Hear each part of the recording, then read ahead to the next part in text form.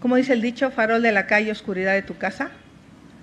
Pues la verdad de las cosas es que apoyar al régimen de Maduro me parece inaceptable. Maduro expulsa 7.7 millones de venezolanos que tenían empleo, que tenían vida, que tenían un proyecto en Venezuela y con sus políticas de autoritarismo, con sus políticas de alianza con el ejército, con todo lo que pasó en Venezuela, los venezolanos han tenido que salir a buscar una mejor vida.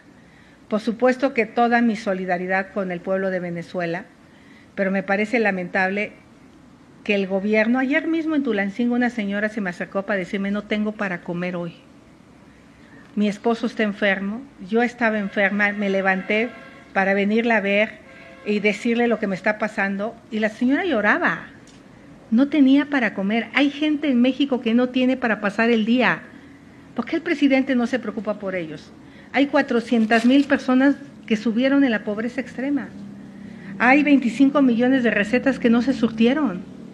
O sea, de verdad, cuando nuestro pueblo sufre y que el presidente sea insensible al dolor de la gente en México que sufre, pues yo simplemente le daré prioridad a los más pobres de México, que sí los conozco, a diferencia de Sheinbaum, que seguramente ella no está en los municipios, pues pobres, pobres, digo, a lo mejor va a ser un mitin ahora, pero yo estuve en Cochoapan, dormí en Cochoapan, en Metlatoner, en Coicoyán de las Flores, en San Juan Petlapa, en esos municipios, los pobres, pobres, yo he estado ahí trabajando al lado de la gente y sé exactamente lo que necesitan y me parece lamentable que el presidente pues atienda a otras personas.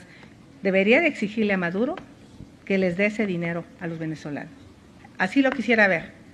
Así como se pone contra la oposición, se ponga contra Maduro, pero pues creo que se le tiene miedo.